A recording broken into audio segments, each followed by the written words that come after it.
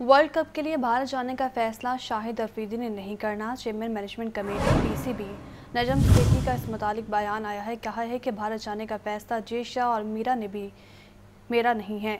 आपको बताएँ कि फैसला पाकिस्तान और भारत की हुकूमत ने करना है। हुकूमत ने इजाज़त दी तो वर्ल्ड कप खेलने भारत ज़रूर जाएँगे। मस्जिद बताएँगे बिलाल अकील, बताइए बिलाल, इस मुताबिक मस्जिद क्या कहना है पी पीसीबी नजम सेठी का?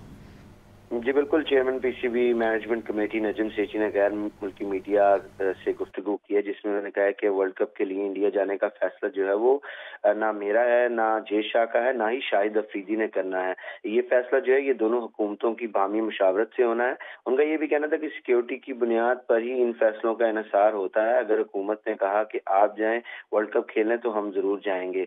उनका ये भी कहना था कि एसीसी के सरबरा जय शाह की दरख्वास्त पर मेरी चंद रोज कबल नायब सदर पंकज पंकज खमजी से जो है वो मुलाकात हुई थी और हाइब्रिड मॉडल पर मस्बत रद्द अमल जो है वो सामने आया और जिस, जो उन्होंने जो है वो जेशा को ब्रीफ भी किया। उनका ये भी कहना था कि श्रीलंका की जानब से एसीसी पर दबाव है कि न्यूट्रल वेन्यू के लिए श्रीलंका का इंतखब किया जाए।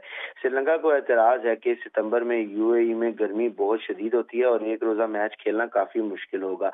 इसी मौसम में यूएई में एशिया कप समेत आईपीएल के मैचेस हो चुके हैं। उनका ये भी कहना था कि मेजबान पाकिस्तान है गेट मनी मेजबान का हक होता है श्रीलंका में गेट मनी कम मिलेगी, जबकि यूएई में अगर ये कराया जाए तो गेट मनी जो है उसमें इजाफा होगा। उनका ये भी कहना था कि मिकी आर्थर पाकिस्तान क्रिकेट से वाकिफ है काउंटी क्रिकेट की मसूफियात का असर पाकिस्तान टीम पर नहीं पड़ेगा। उनका ये भी कहना था कि नई सिलेक्शन कमेटी के सरबरा हारून रशीदी रहेंगे, जबकि कमेटी के दीगर अरकान में मिकी आर्थर ग्रांट ब्रेडबन और हसन चीमा जो है वो शामिल होंगे।